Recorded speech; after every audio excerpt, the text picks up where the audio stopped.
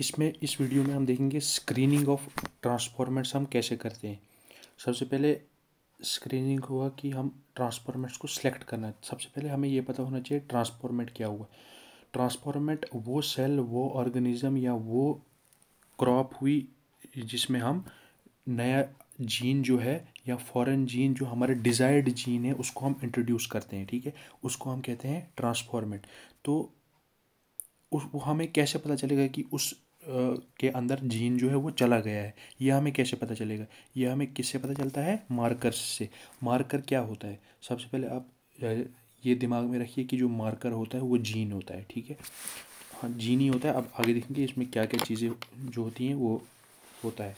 तो देखिए, एक कंसेप्ट आता है वेक्टर का। वेक्टर क्या होता है? वेक्टर हमारा डिज़ायर्ड जीन कैरी करता है एक ऑर्गेनिज्म से दूसरे ऑर्गेनिज्म में। ये देखिए, ये जो है ना ये प्लास्मिड है हमारे पास, ठीक है?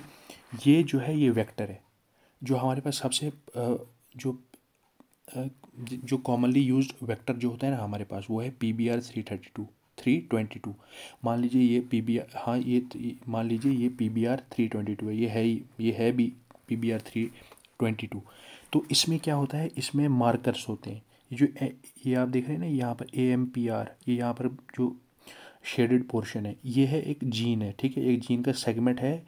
ये इसको हम कहते हैं मार्कर अब क्यों कहते हैं मार्कर ये आगे हम देखेंगे। तो ये मान लीजिए ये जो ऊपर वाला जो शेडेड पोर्शन है, ये है इंसर्ट जीन ठीक है?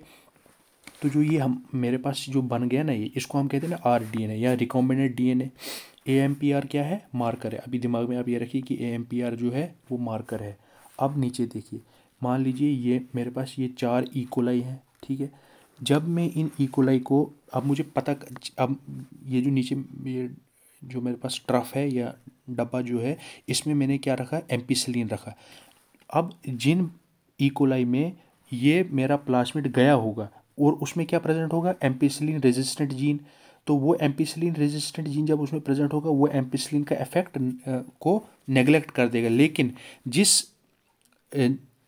इकोलाई में ये नहीं प्रेजेंट होगा मेरा रिकॉमिनेट डीएनए वो जो होगा वो डाई वो मर जाएगा। तो इससे तो ये एक मार्क मार्कर हो गया ना ये? ये मार्क कर रहा है ना कि भाई जो ये हमें बता रहा है कि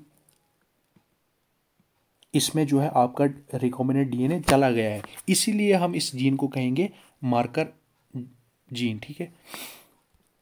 और देखिए, ये तो आया ना एंटीबायोटिक रेजिस्टेंट जीन। एक और मार्कर प्रेजेंट होता है। मान ली एक और मार्कर प्रेजेंट होता है एंजाइम प्रोड्यूसिंग जीन का।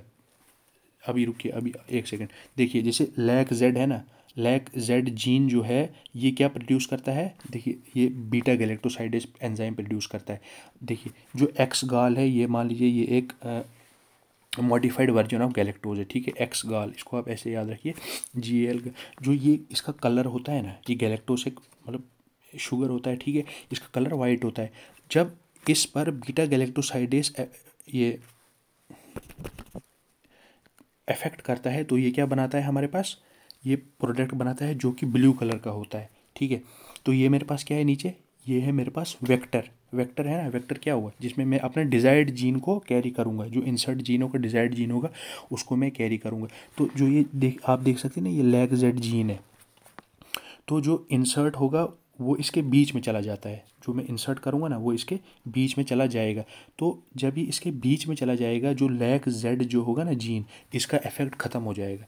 जब इसका इफ़ेक्ट ख़त्म हो जाएगा तो फिर जब मैं इसको एक्स गाल, फिर मैं एक डब्बा लूँगा, एक ट्रफ लूँगा, उसमें मैं क्या डालूँगा? एक्स गाल डालूँगा। एक्स गाल क्या था? वाइट कलर का सब्सटेंस था, जो कि ब्लू कलर में कन्वर्ट हो रहा था। किससे? बीटा गैलेक्टोसाइडे से, जो प्रोड्यूस हो रहा था लैक जेड जीन से।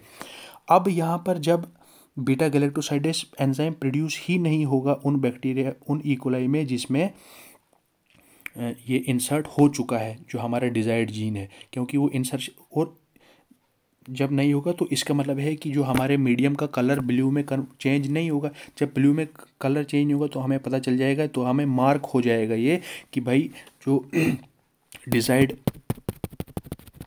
जो हमारे पास डिज़ायर्ड इंसर जीन है वो उस इकोलाई में उस बैक्टीरिया में किसी भी ऑर्गेनिज्म में चला गया है और इस प्रोसेस को हम कहते हैं इंसर्शनल इनएक्टिवेशन यहाँ पर हो गया ना, जब इंसर्ट हुआ तो इनएक्टिवेट हो गया लेगजेड जीन ये प्रोड्यूस ही नहीं कर पाया बीटा कलेक्ट्रोसाइड है, जो वाइट को ब्लू में प्रोडक्ट में कन्वर्ट कर रहा था। इसको दूसरी, इसको दूसरा भी एक नाम दिया गया है ब्लू वाइट कन्वर्जन का। Thank you